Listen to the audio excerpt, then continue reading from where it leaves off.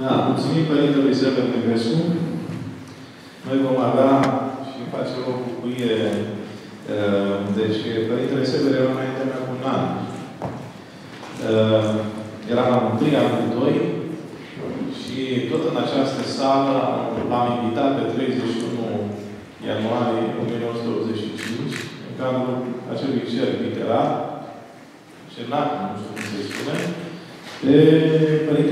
Nicolae Stein. Deci pe 16 aprilie vom avea tot în acest amfiteatru Dumitru Stăniloae uh, Părintele Nicolae Steiner sau și Revelația Fericirii cu Monica Aguilar, uh, George Ardeleanu și Părintele Mihai Binea de la Buzău. Uh, Avem multe amintiri, mă bucur și mulțumesc mult pentru prezență. Rugăm pe Tomii Cristin să alternăm cu poezie.